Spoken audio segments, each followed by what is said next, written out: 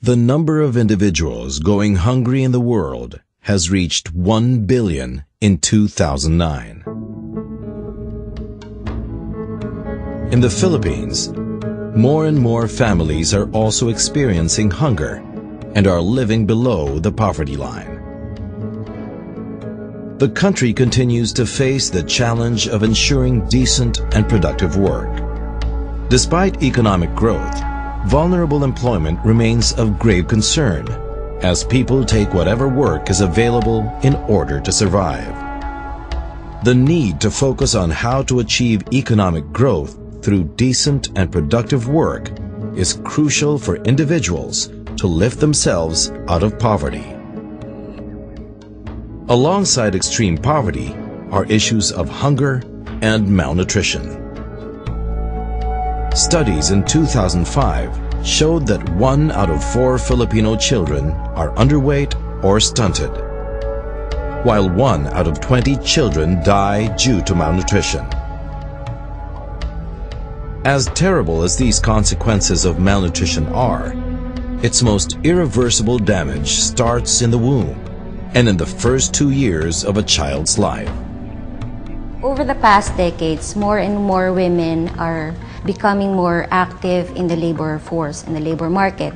More and more uh, women are seeking jobs, and not just jobs, but they're looking for sustainable income and economic activities.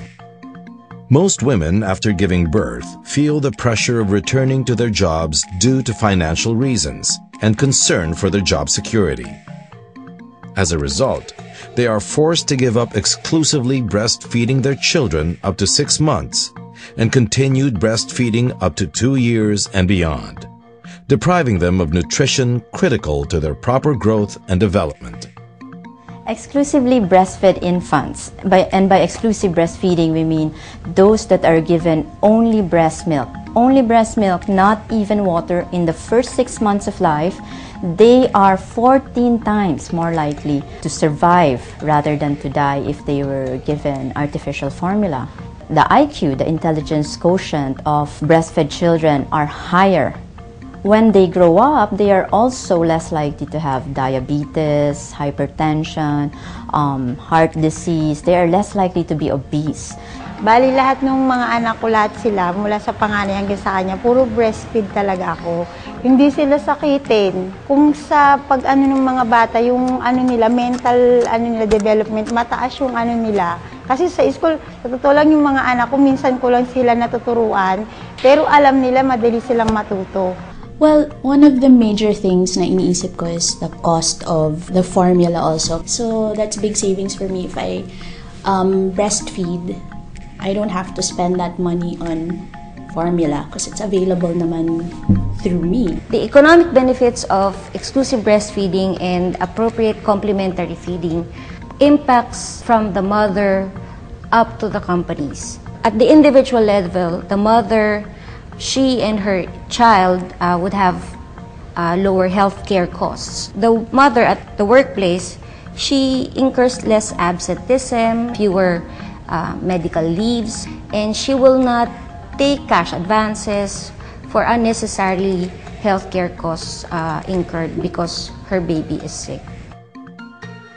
Spearheading the efforts to promote exclusive breastfeeding and continued breastfeeding in the workplace is the International Labour Organization, or ILO. ILO is a specialized agency of the United Nations that works on promoting decent work and productive employment to aid in poverty alleviation efforts of its member countries, such as the Philippines.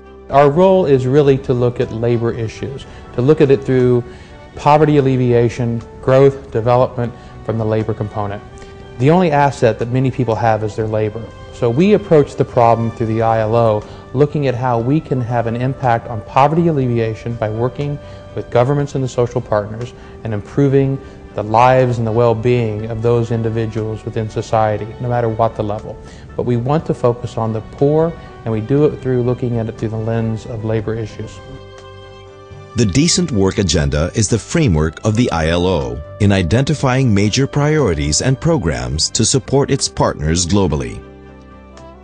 It also guides its partners in the formulation of strategies that address issues of poverty, hunger, and malnutrition. Central to decent work is maternity protection. Women have issues that need to be addressed, like men in the workplace. So it's very important in the case of maternity protection or family protection, these issues, that we address the concerns of women. Kasi meron kaming family welfare program which have 10 elements. Part of that is yung sa exclusive breastfeeding. We actually encourage um, employers to set up even just a small nook or uh, which is a little private for the for the mothers to express their milk and then allow them to use the refrigerator of the company We at the Employers Confederation of the Philippines believe in the interconnection among employees' health, their productivity, and work-life balance. Consistent with this belief, ECOP has been championing various workplace initiatives to improve the work and life balance of employees. Among the many thrusts of ECOP is the promotion of workplace maternal and child health care program. Well, as much as possible, we try to encourage our members to include exclusive breastfeedings as one of the main provisions of their collective bargaining agreements. Now, CBAs, uh, this is a legal document between management and workers which outlines all the benefits that they, they are supposed to get.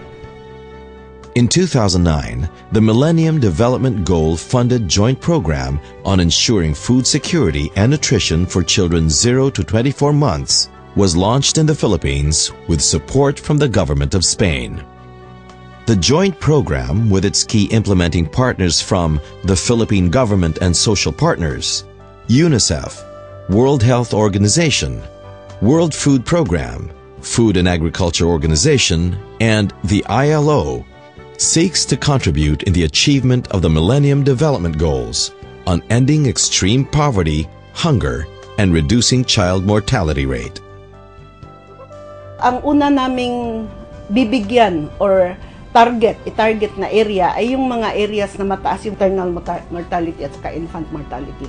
So we targeted Zamboanga, Naga at saka Iloilo.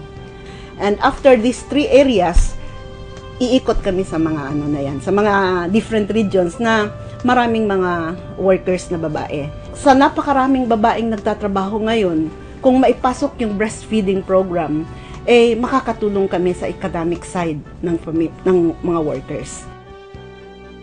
With the passage of the Expanded Breastfeeding Promotion Act of 2009, this law mandates companies, uh, establishments to set up lactation stations, provide an additional 40-minute break for working mothers to express their milks. We hope that uh, through that national legislation, we will also be able to further promote other essential elements of maternity protection in the Philippines.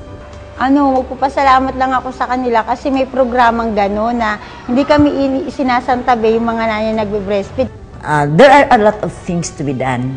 Everybody should have to take part of advocating in the local government to really have an institutionalized way of addressing and encouraging really the productive mothers, those mothers really to use or to, to breastfeed their children.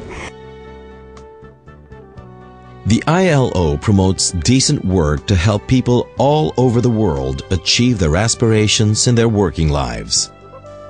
And through the promotion of exclusive breastfeeding and continued breastfeeding in the workplace, ILO, with partners from the joint program, is taking significant steps in addressing poverty, hunger, and malnutrition.